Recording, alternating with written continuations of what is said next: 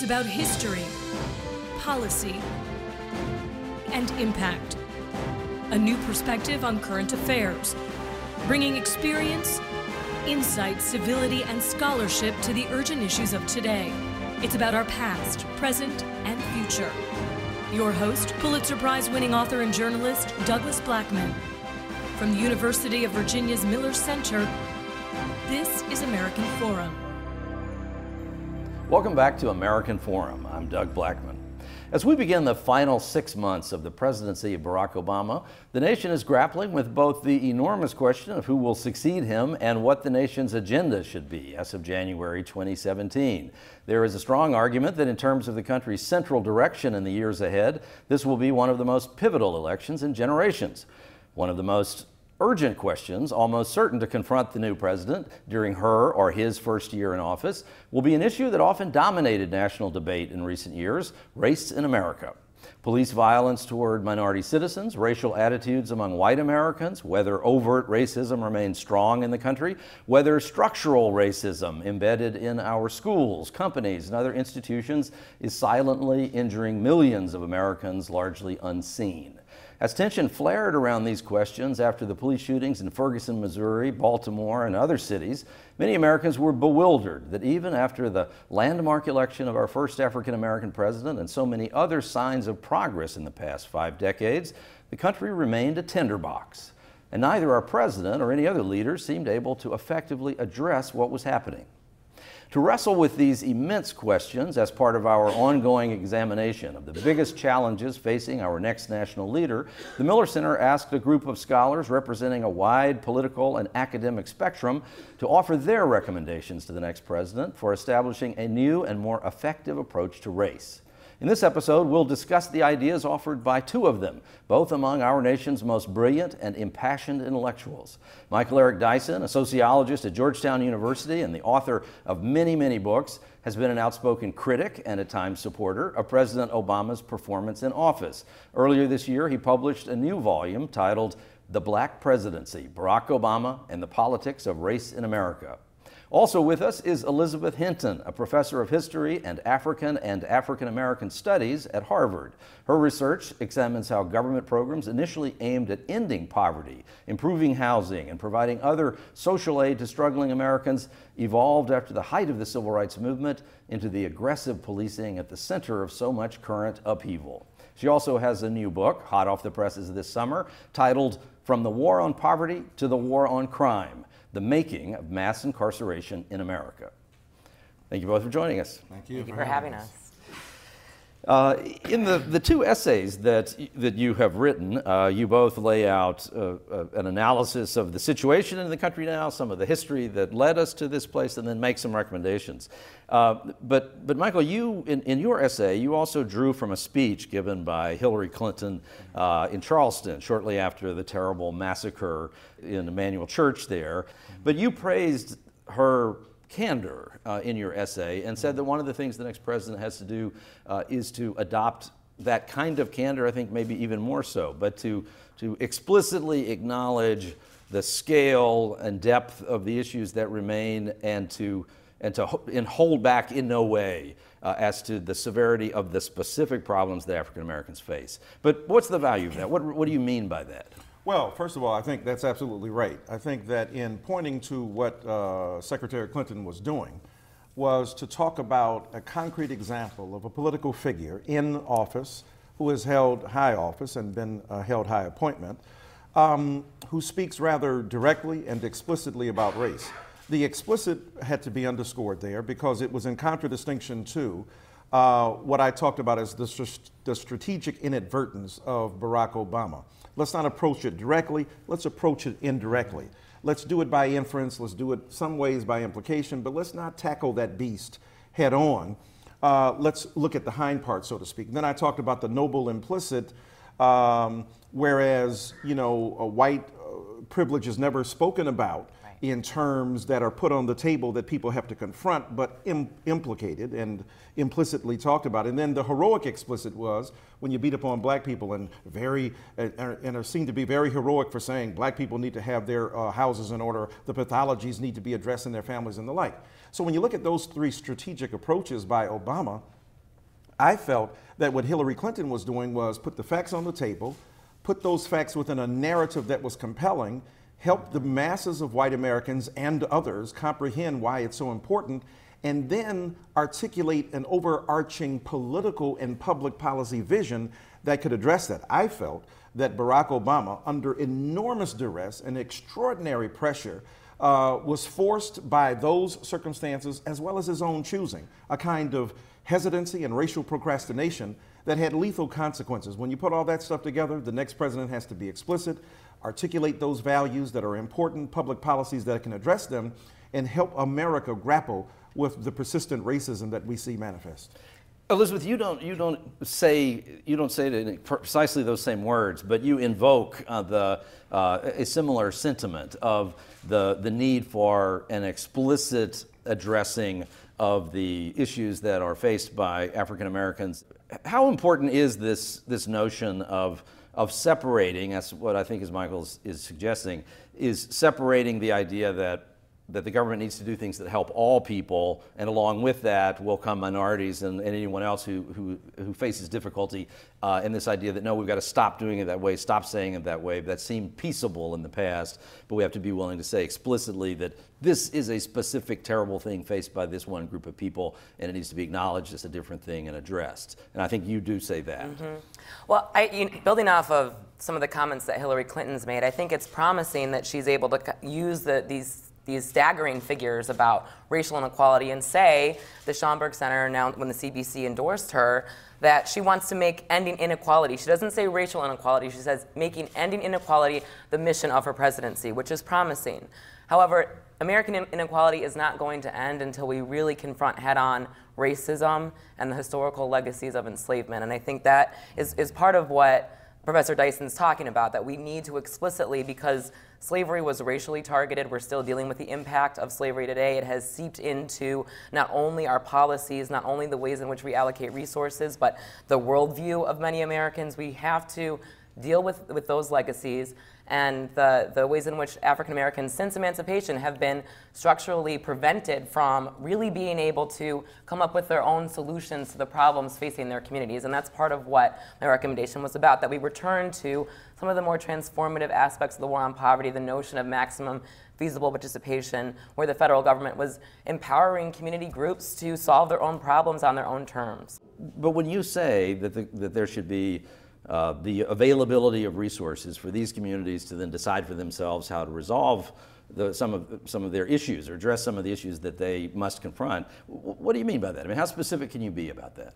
Well, I think that we have that the the response to some of the kind of most pressing problems facing our society, what some people might call urban crisis, failing public schools, mass employment, et cetera, for the past half century has really been privileging punitive responses instead of really thinking about fundamental, more structural changes. And I think, you know, the war on poverty essentially provided low-income Americans, urban and rural, an opportunity for job training measures, an opportunity to receive remedial education, for skills building, homemaking, workshops, things like that. Instead, we need a job, we, we need job creation programs. We need a different and more kind of transformative, larger, broader response to these problems that go beyond um, punitive, punitive force, incarceration, surveillance, et cetera. Obama has taken the worst of the Johnson administration and left the best behind.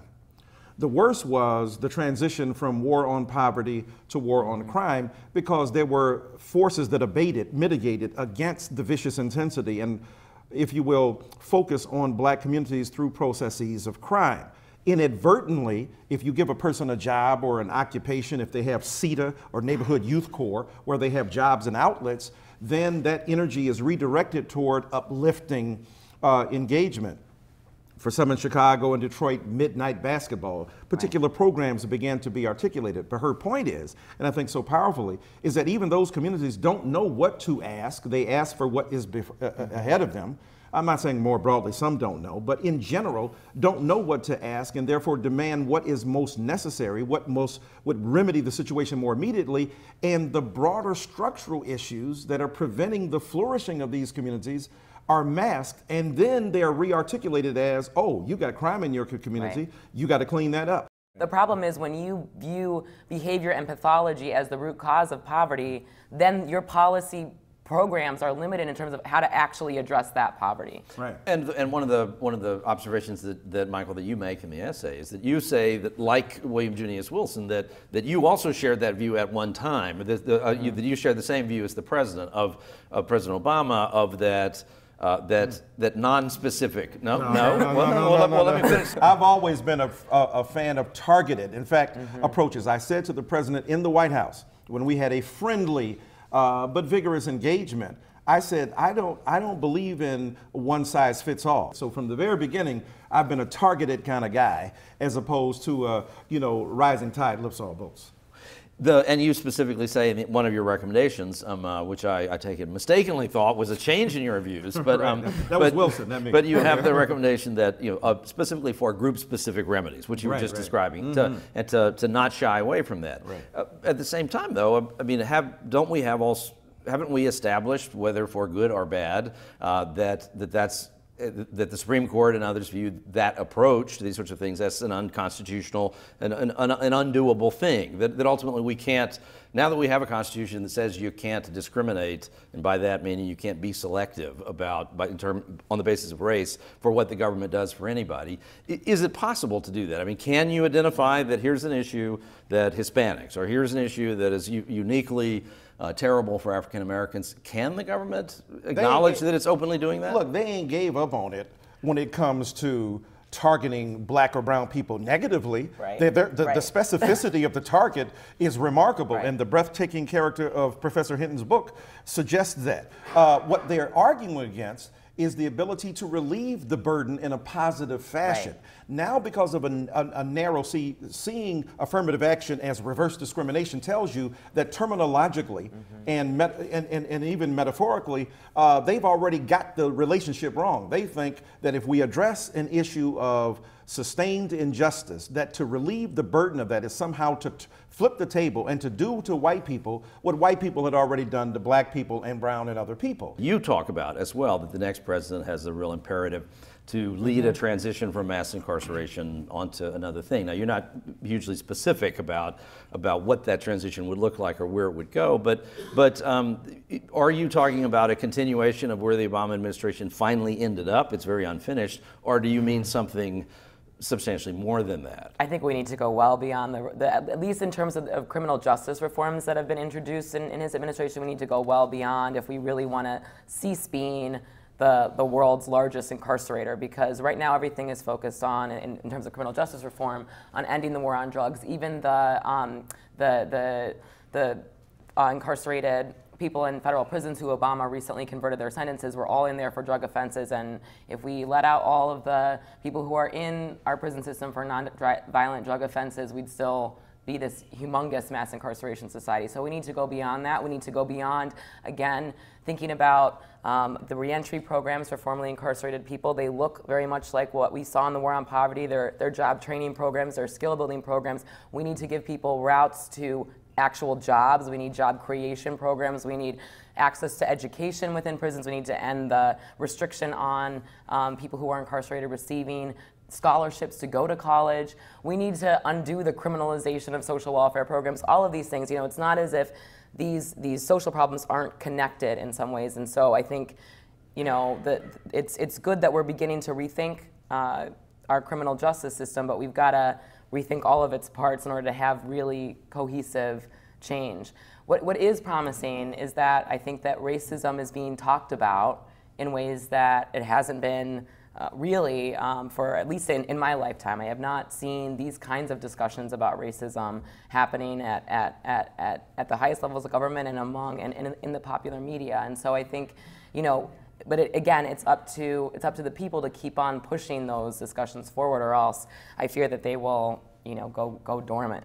If you were imagining whoever this next president is, and let's just pretend for a minute that whoever wins could conceivably say whatever you would want them to say. Uh, but, but what would that be? I mean, beyond we need to end mass incarceration, if, if you really wanted them to say, okay, we've got to start with this, this, and this, or maybe even just this, what, what might that message be?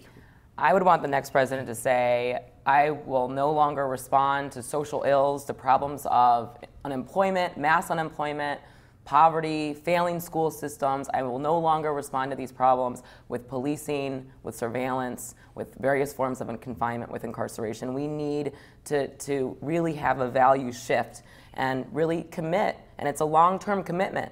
I think if President Obama were here right now, um, uh, he'd do a better job of saying this than me. But I, um, uh, but I think one of the responses that he would have to this, uh, if he were being really honest, would be, look, the President of the United States has limit, as powerful as I am, uh, has limited reach over these things. Is there a case to be made that actually presidents have a greater degree of power over these kinds of complicated issues than even they believe, than, a, than Barack Obama believed? Well, well, look, I mean, one of the arguments has been through the history of presidential scholarship is that the greatest power a president may ultimately have is a rhetorical one. Mm-hmm. That is, to set the tone, to say the, to the nation, this is the problem. When we think of Ronald Reagan, slipping the surly bonds, right? In terms of the aftermath of that disaster with Challenger, I believe it was. Or think about John F. Kennedy. Uh, ask not, you know, or, you know, channeling Khalil Gibran. Or think about we have nothing to fear but fear itself. The point is, time and again, presidents are known for setting a tone. And Obama has not even seized upon the rhetorical capital available to him to articulate these visions in a different way. Notice what she said that if he could say, we're not going to respond in a knee jerk fashion, in a reactionary measure against the problems we see spread out, metastasizing across the body politic, with over policing. That means police people are not going to be at your schoolhouse as they are not in the schoolhouses of right. up, upper crust, white, and, and in some cases, people of colors schools. So that's number one. Why is that important? Because if a police person is there, then, when there's a problem, it gets policed. The president's rhetorical responsibility and capability of intervening upon that measure by saying, no, this is not the way we should go. This is not the response we should have. Mm-hmm. Ain't nobody holding back Obama from executive orders and right. from making speeches right. and from intervening the way he has, for instance, with gay, lesbian, transgender, bisexual mm-hmm. people to a certain degree, and certainly to a certain degree with the immigration issue. Look at Obama mm-hmm. in England, across the pond celebrating and praising gay, lesbian, transgender, bisexual, queer people for acting up and forcing his mm. hand to make a policy change, uh, uh, also with his children. His enlightened daughters, as many Americans are informed by their children, said to him, We have gay and lesbian people who are parents, stop it. So, the combination of his uh, existential network of relations as well as his understanding of what happened in terms of the history of response by this community caused him, he said, to change his mind. At the same time that he reprimands Black Lives Matter. At the same time, he says, hey, it's all right to do what you do, but yelling at people ultimately is not going to. So power will dictate the terms by which power is challenged. Mm-hmm. Do you see it quite as severely as that? You know, are you as frustrated with uh, President Obama's approach to those questions as, as Michael obviously is? I'll, Certainly, and I, I, think that Michael makes a really important point in his book, which is that you know Obama has been limited in, in even being able to address these issues. I think that I think that a lot of African Americans who invested um, hope and change in his presidency, addressing these issues that have always been at the forefront of our minds, but that I think are more and more becoming part of national discussions, as I've said, have been underwhelmed by. Um, by a lack of, of, of specific attention on the problem of racism as it affects African Americans during in, in Obama's resident, uh, his, his, his, rhetoric and during his presidency? We've got two almost certain nominees, um, uh, uh, certain nominees now for, for president. Uh, one of them, you know, one uh, Michael cites one of them in, you know, in his essay in a somewhat positive way, and, but, but certainly Hillary Clinton uh, on the conceptually would, would certainly acknowledge that racism is an important issue mm-hmm. and would at least be in the beginnings of the zone that you guys would, would probably say that she should be. Mm-hmm. Uh, Donald Trump would, I'm certain, say that racism is a bad thing and racism should disappear by the, by the end of his time as mm-hmm. president mm-hmm. as well. Mm-hmm. Uh, but perhaps is not going to say some of the other things that, that you might hope for. But what do you do if you're trying to, as an intellectual leader? Uh, what do you do if Donald Trump uh, becomes president of the United States? She's already got her passport to no. there- I don't because I, I am proud to be American and I'm not, you know, I, I, I want to be able to help change the country for the better. I feel like if, you know, people who say that, I'm dedicated to making this country be as, as good as it can be and, and leaving the country and not continuing to fight to make it better. Um, it's part of the work that I do. It's part of why I researched the problems that, that, I, that I have in the book. I think, you know, there are some people that say, well, if, if, if Donald Trump's president, then, you know, things will get so bad that maybe they'll, they'll, they'll get better. I think we need to keep the dialogues going. I think that, um, that regardless, these issues, racism is kind of reaching a new uh, threshold in, in our society, and people are talking about it in different ways. And I would hope that that those conversations, as well as the protest movements that, that we see, will continue to put pressure on the Trump administration to make America what it should be, which, is not necessarily, you know, the, the kind of vision that, um, that, that he seems to be projecting. I think that, you know, he, there's a, there, there seems to be a lot of divisions, and we need to really, really work to show commonalities, that targeting policies for African Americans is not at the expense of low-income white Americans or, or affluent white Americans. Michael, if, if President Trump said to you, uh, you know, yes, I agree with you, racism is a bad thing and needs to come to an end. I don't have a racist bone in my body. Uh, and I agree with you that, that we've got to do a better job of preventing these bad things from happening in the future. But I'm sorry, we do also have to speak candidly about the thugs that you're not asking for affirmative action for. And there are people who have to clean up their own conduct and straighten straighten themselves up. And there is some dimension of that that has to be a testosterone dimension of, of the formula. What do you say to Donald Trump if, if he or a conservative thinker makes a more eloquent version of that case? What do you say to that person? Well, look, that, that, that case has been made time and again, perhaps from time immemorial in terms of the origins of ideology. Uh, that's nothing new to say that people have to comport themselves in a certain fashion. You mentioned earlier Bill Cosby, he was addicted to that. Uh, Martin Luther King Jr. wrote a column for Ebony Magazine where he gave practical advice to Negroes, as we were then called, about how to handle their particular issues. Booker T. Washington, W.B. Du Bois, Nanny, Helen's Bur- uh, Nanny Helen Burroughs. So the fact is, you have to be ignorant of the broad swath of, um, uh, of the broad reach and trajectory of African American thought about these issues to, to make it as if it's something new, number one. To pretend that every pronouncement that Clarence Thomas makes every 10 years uh, is something that is novel, uh, that is insightful, or some new black conservative. So I say to, to Donald Trump, look, black people are just as invested in wanting our communities not to be run over with thugs. Stop giving them badges and guns. Stop, uh, you know, giving them the ability to roll up in black communities under a no snitch policy that the police department abides by because it refuses to tell the truth about the thin blue line that ostensibly should protect us from the marauding criminals, except those criminals turn out to be often those with badges and guns. So I would say, A, you got to deal with that. B, uh, there are many in the African American community, among with, uh, along with Latinos, who are culturally conservative, who have moral principles rooted in the Ten Commandments, who want nothing more than to clean up these communities. Again, don't demonize and pre criminalize African American, Latino, and even poor white people. And then, thirdly, uh, what we've got to do is to say uh, from the very day that Donald Trump takes office, we want to make America great again.